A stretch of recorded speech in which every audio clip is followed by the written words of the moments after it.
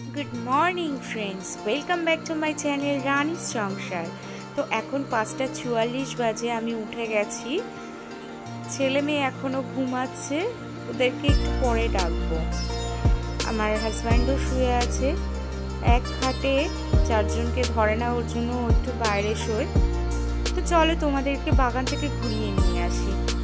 দেখো, কত সুন্দর সৌরি কুমড়ো গাছ হয়েছে।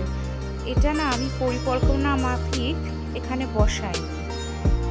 আর দেখো, আমার বাগানে কমলা সুন্দরী কত সুন্দর খেলা করছে। যাই হোক, চলো, আমি এখন পুজোর গোছানোগুলো গুছিয়ে নিই। অনেকগুলো আজকে চন্দন জবা ফুটেছে, আরও অনেক ফুল ফুটেছে। ফুলের ডালি যখন সাজাবো, তোমাদেরকে দেখাবো। তো এখন ফুলগুলো তুলে নিই। দেখো, সব ফুল তোলা হয়ে গেছে, কত চন্দন জবা। অনেক টগর, কাঞ্চন, নীলকণ্ঠ, সাদা আখণ্ড, নীল আখণ্ড, নাক চাপা, অনেকগুলি ফুল হয়েছে তো এরপর আমি যাব রান্নাঘরে, রান্না করব, ছেলে, মেয়ে হাজব্যান্ড একে একে ওদেরকে ছেড়ে দেব। তো আজকের রেসিপি চিংড়ি মাছের তেল ঝাল, ডাল আর সঙ্গে থাকো, কেমন করে বানাচ্ছি দেখতে থাকো।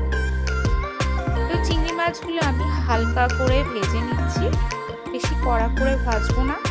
এখানে নিয়েছি মিডিয়াম সাইজের পেঁয়াজ দুটো, পাঁচটা লঙ্কা, সাত আট কোয়া রসুন, আর নেব একটু পোস্ত। তো ডাল আর আলু ভাতে এই সরি ডাল আর আলু পোস্ত যেটা, সেটা রাত্রের জন্য করব। এবেলা এটা দিয়েই চালাবো।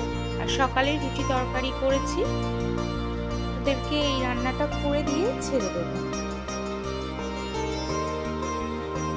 ছেলে যাবে নটায়, আমার হাজব্যান্ড যাবে সাড়ে নটায়, আর নিয়ে যাবে সাড়ে দশটায়।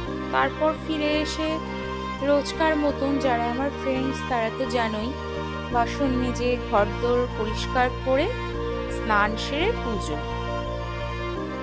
তারপরে একটু ফোন দেখে ফোন ঘাটাঘাটি করে, তারপর আমি দুপুরের খাবারটা খেয়ে নিই। তো দেখো, চিংড়ি মাছের তেল ঝালটা কিন্তু প্রায় হয়ে এসেছে গরম জলটা দিয়ে দিলাম। ব্যাস, পাঁচ মিনিট হয়ে গেল তৈরি তো আমি সমস্ত সংসারের কাজ সামলে দুপুরবেলা খেতে বসেছি, নিয়েছি ভাত, শসা আর তিন রকম পদ আজকে রান্না করেছি তোমাদেরকে যে বলেছিলাম। তো তোমরাও লাঞ্চ সেরে নাও। টাটা।